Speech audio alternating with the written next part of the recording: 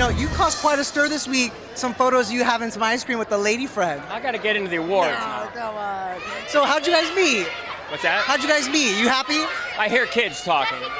John Stamos dodges questions about his new lady, Caitlin McHugh, with ET, but what he should have been dodging was a slime bucket inside the Kids' Choice Awards. Go for it, Chase.